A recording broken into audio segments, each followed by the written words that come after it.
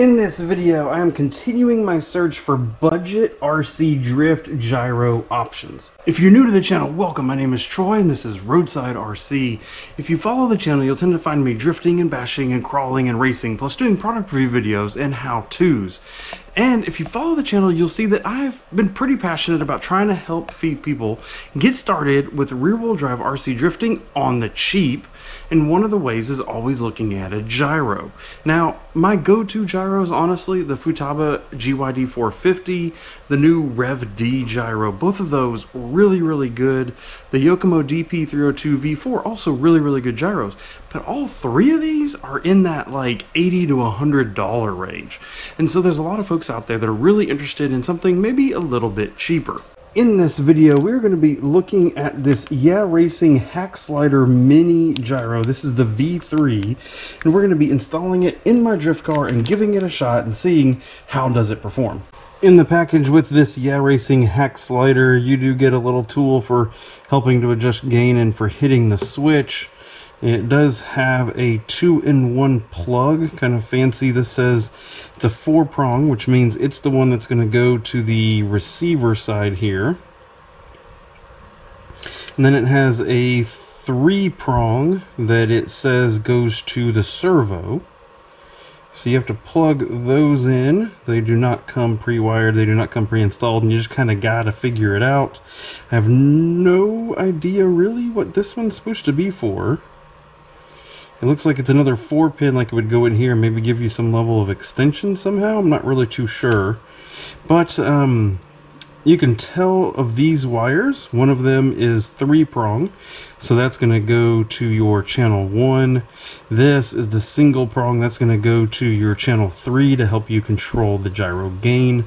And then this, of course, is going to be the servo output. So should be pretty simple. We're going to get it uh, just double-sided taped down to the chassis of the drift car. And with some double-sided tape, that Yeah Racing gyro is right here on my bottom chassis. Nice solid panel for it to get now with this Yeah Racing gyro, we actually had to move it from the bottom plate up here to the top because these wires that it comes with are really short. And so they just physically wouldn't reach the receiver down on the bottom plate. But just as expected, the single wire does plug directly into the third channel. The three the three pronged male plug goes into the first channel, and then the female three prong goes to the servo. So we're gonna fire it up we get a green light. The wheels turn in the correct direction, and when we go, it looks like the third channel is controlling it, and the orientation is correct. So now the only thing that we really need to figure out on it is servo endpoints, because we don't want to try to overextend our travel. All right, now so major problem that I have here is it didn't come with a manual, although it says that it's supposed to. And uh, according to online, I don't, I can't find a manual specifically for the Hackslider Mini online. But we're going to be guessing at some of the settings based on previous experience that we have. So you see how we have a red light, and if we hit the button twice, flashes, flashes, comes green, and what I would have assumed was happening there was we were going from AVCS to non-AVCS kind of mode, but I can't tell. Um, I can't tell by here on the bench, so we're just going to have to test that in person and find out. So the other thing that we're going to try is in order to set the endpoints, I'm going to hold the button down and power it on and see if we get flashy lights. Yep, we get flashy lights, so then I'm going to turn the gyro one direction, Yep, got a flashy light. I'm going to turn it the other direction. Flashy light. Now my endpoint should be set, which is very important. Helps to make sure that you don't burn out the, the servo itself. So we're going to get to the track, and when we get to the track, we'll actually test out the green versus red mode on here to see what difference we can feel while driving it. So the gyro's in and calibrated to controller. And normally before I ever took a vehicle like this to the track with a change, I'd be testing it here in my garage. But two things. One, I have an impending track day, so I have opportunity to go test it out anyway. And then two, garage is kind of a mess at the moment. And so um, we're gonna skip straight to going to the track. I'm still gonna do some of the stuff that I would normally do, which is kind of like a circle. How well does it do a circle? How well does it do a figure eight? But then instead of going into my big C that I typically do here in the garage, I'm going to go just straight to on track. So let's me get all this packed up, head to the track, and we will see what the results are.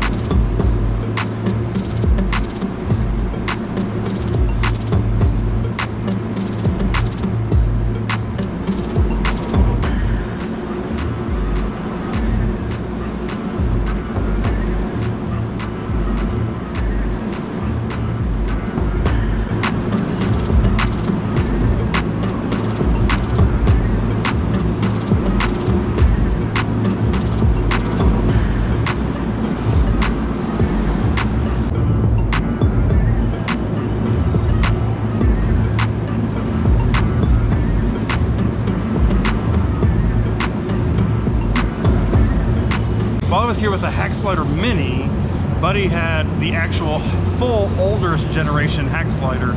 It doesn't have some of the settings that the Mini, the newer Mini does, but honestly it still felt pretty decent. I was really surprised. Hackslider Mini in both red and green honestly have worked really, really well. No issues. I even had even had that guy drive it and it's working really, really well final results as it turns out from this Yeah Racing Hackslider Mini is it's really pretty good. And again, I wasn't the only one that drove it.